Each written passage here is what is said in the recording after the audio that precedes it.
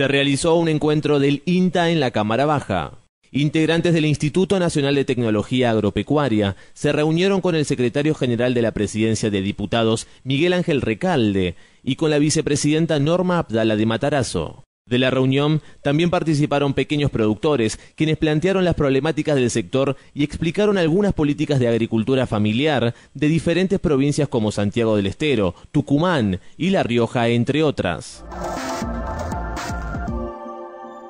Alberto Sileoni en Diputados. El ministro de Educación de la Nación participó en una jornada convocada por la legisladora y presidenta de la Comisión de Educación, Estela Maris Leberber. Allí, Sileoni expuso sobre el proyecto de ley enviado por el Poder Ejecutivo, que establece la obligatoriedad escolar a partir de los cuatro años de edad. En la democracia hemos duplicado la, cantidad de años que, un chico que, hace cuatro y cinco, eh, sala de cuatro y sala de cinco del nivel inicial, llega al primario más dotado, más seguro, con mayores posibilidades de, hacer una buena escuela primaria, una buena escuela secundaria.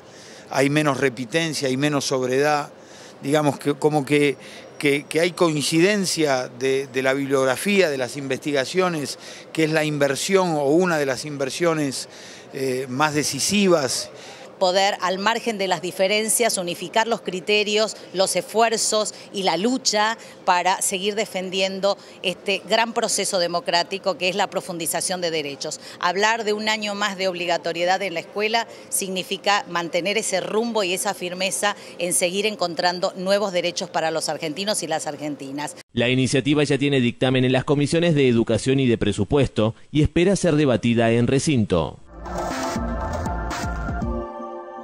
Diputados aprobó el presupuesto 2015.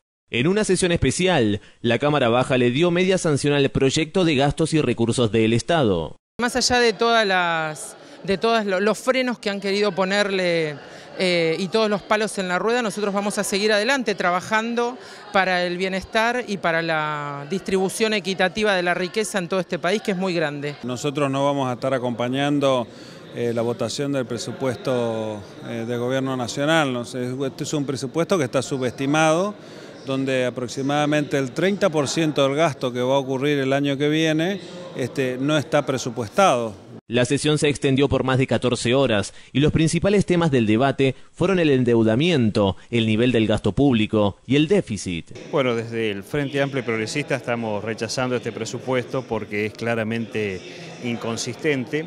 Nosotros quisiéramos en algunos casos que se actualice el valor, eh, quisiéramos que, se, que fueran más universales, pero hay cuestiones que, que, que están consolidadas, digamos. Ahora, cuando uno ve el proyecto de desarrollo que se está planteando, la agenda de inversiones hacia adelante, vemos que hay un gran desorden de, las prioridades y por otro lado vemos que hay mucha información distorsionada. Entonces me parece que hay que ser muy responsable y alentar un debate democrático tratando de sostener las políticas públicas que impulsa la Presidenta de la Nación y separando intereses personales o de grupo y de sector o partidarios o electorales con los intereses reales de la Nación. Creo que en ese camino este presupuesto va a dar más, más certidumbre, más seguridad y tiene una clara definición de un presupuesto que se hace cargo de seguir profundizando la distribución de la riqueza nacional, que es el desafío más importante que tenemos.